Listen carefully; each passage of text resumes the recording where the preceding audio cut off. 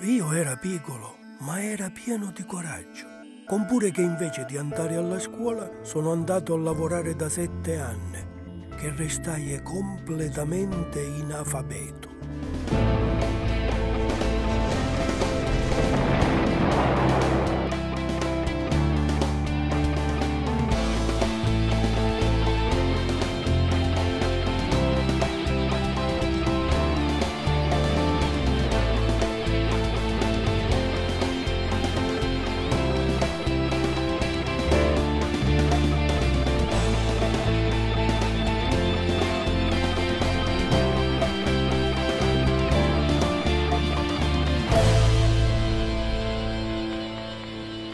Che belle epiche che sono queste per i miei figli.